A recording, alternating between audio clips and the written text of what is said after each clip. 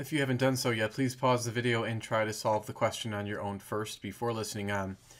We have a current carrying coil of wire that is made up of 20 turns and it is placed in a magnetic field and it will therefore experience a torque. Let's take a look at the formula that gives the torque for a current carrying coil of wire placed in a magnetic field.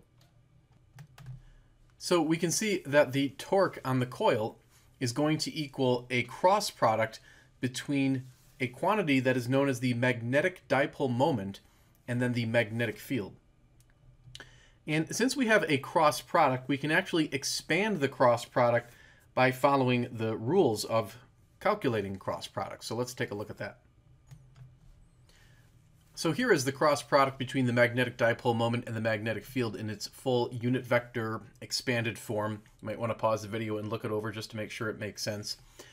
The good news is that we can actually simplify this dreadful looking equation by noting a couple of things. Let's take a look at the magnetic field first. And we can see that the magnetic field is pointing in this direction here, and it has both an x component as well as a z component. But notice that it's not pointing in the y direction whatsoever. So that means that the value of by is going to equal 0 Tesla. So anywhere in this cross product we see by, we can plug in a 0, and that's basically going to cancel out that term there. So for example, right here, by would be 0, and when we multiply it by mu z, that's going to be 0 still. So we can actually cross out this right here, and then by also appears right here, so that can eliminate. We next want to look at the direction of the magnetic dipole moment, which is symbolized by this Greek letter mu. And the direction of the magnetic dipole moment is not apparent in the diagram because it's not noted. So what you have to do is actually use a so-called right-hand rule. And this is going to help you determine the direction of that magnetic dipole moment. And it's difficult to draw, but the basic idea is that you want to grab the wire, or the coil of wire, I should say, with your right hand so that your four fingers will be pointing in the direction of the current.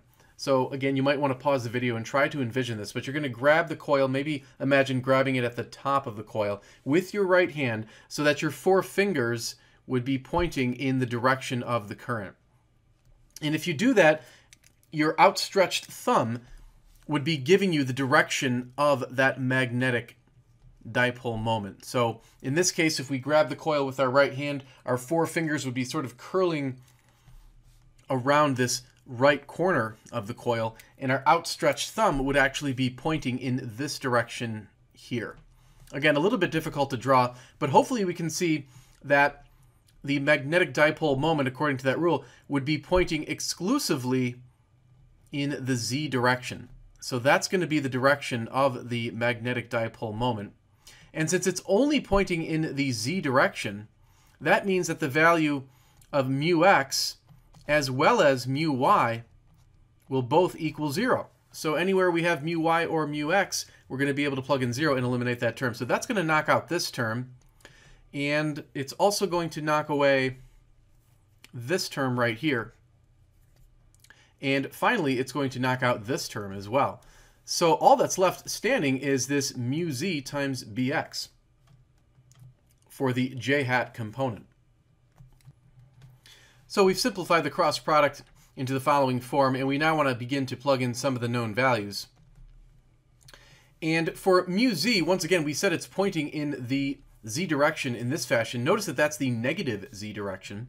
So we're going to have negative for the value of mu z. And it turns out that the magnetic dipole moment has a magnitude equal to n times i times a. So n is the number of turns in the coil, which was stated to be 20. I is the value of the current, which was 0.10 amps, and then A is the area of the loop. We can see that our loop is rectangular, so the area is going to be the length multiplied by the width. So we'll go ahead and plug in the, the values for NIA. So we're going to have 20 times the current, and then times the area. Notice for the area, you have to convert that into meters, so it's going to be 0.10 meters multiplied by 0.05 meters. So there is the value for mu z, and then we have bx. So we only want the x component of the magnetic field. We can see the magnetic field is right here symbolized with this letter b. The x component, of course, would be pointing in this direction right here. We can see that the x component is adjacent to that angle theta. So when we multiply, we're going to end up with the x component of b times the cosine of that angle. And again, we're using the cosine because the x component is adjacent to the angle that's marked theta. It's also pointing in the positive x direction, so we have to make sure we leave this as a positive value. Now, the magnitude of the magnetic field was given to be 0.5 Tesla, so we can actually come in here and fill that in. And then the angle that's formed between the x-axis and the magnetic field was stated to be 30 degrees, so we can actually go in here and plug that in as well. So make sure your calculator is in degree mode, and then you'll type this all in. And when you do that, oh, and let's not forget that this is all in the j hat direction.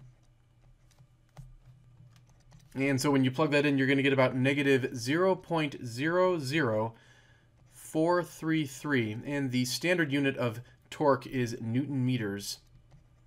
And again, this is acting in the j hat component, which is basically the y direction.